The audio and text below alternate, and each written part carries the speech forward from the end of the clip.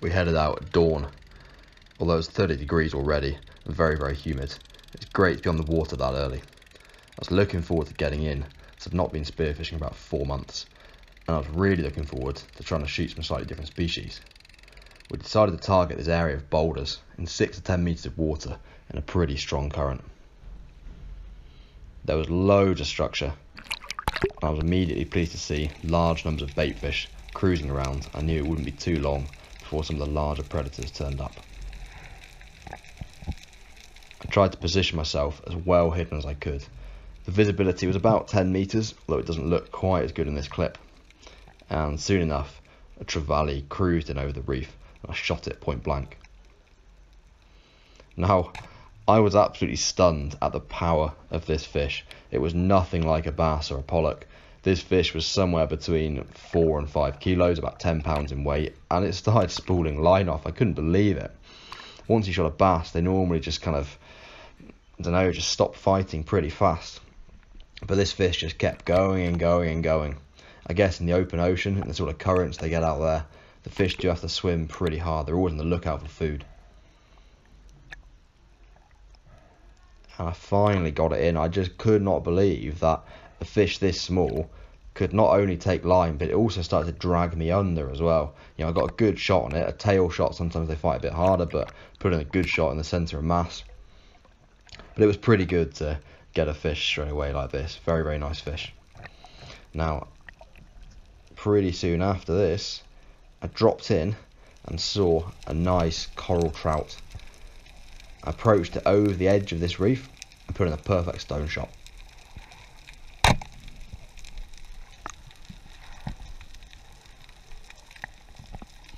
And this was a really interesting fish because it, it almost looks like a bit of a grouper and I read afterwards that it's part of the, the cod family, as all groupers are. It had a huge mouth and a, plenty of teeth and shortly afterwards I saw a patch of dust being wafted up and I realised it was a, uh, a goatfish. A goatfish feeding. It's a bit like a red mullet.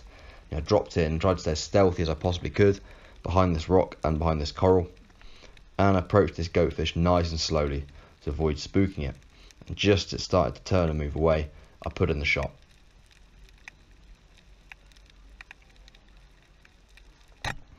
Now, frustratingly, as I went back up to the surface, I saw a number of trevally moving right in front of where I'd been. Now I'd have been in the perfect ambush position for these. Perfect spot. They wouldn't have seen me going behind those boulders. Yeah, there's a pretty big trevally there. That's a good 15 pounder. So pretty frustrating to miss out on that one. But with three fish in the bag now, it was time to move spots. Probably scared the majority of the trevally away. And it was time to look for somewhere else. But I was pretty happy with this nice sort of 10 pound trevally. Very nice coral trout and an excellent goatfish. we moved spots and I dropped in again. Now, the boat driver had recommended this area, but after dropping in, I wasn't too sure about it. It was very flat, not a lot of structure, and no current. But what I did really enjoy was how colourful all the fish were. That was a real positive about spearfishing in Thailand. It's almost like being in your own personal tropical aquarium. All these yellow-tailed fish, they were everywhere. Fast-moving fish, it was pretty cool just sort of seeing them shoaling around. I was really hoping that a big trevally or maybe even a barracuda would cruise by on the hunt for these sort of fish, but it wasn't to be. So I started to look in the holes, hoping for a grouper. Now, possibly I should have brought a torch and had a shorter gun. This is a 100 centimeter gun, which was really not ideal for hole hunting, but it's all I've got on this trip at the moment. However, shortly afterwards, Simon saw a grouper free swimming between holes. Now he drops down here, and you'll see him point towards where the grouper is. So he points it out, he comes back up. I think I ask him where it is, and he drops down again sort of show me where it is because I couldn't quite see where it was from that position.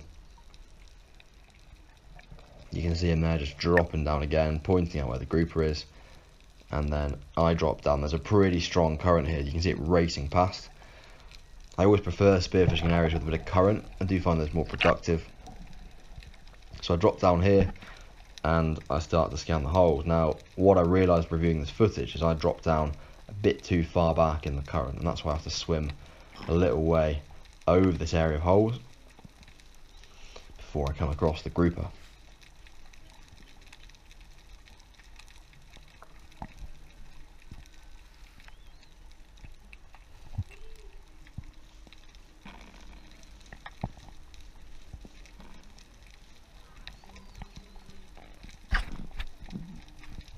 and then I come across it just outside its hole and put in a good holding shot, but it's straight away it's into the cave. So keep the line tight, get it as far as I can, and the gun's gonna float up. So I just dropped the gun, and then Simon went down and retrieves the fish. Good bit of teamwork here. Really, really enjoyed this fish.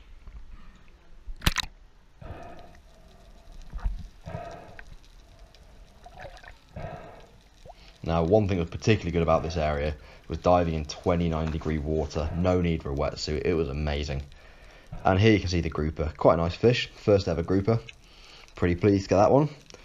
And after those few fish, our time that we paid for with the boat drive was up, so we headed back in.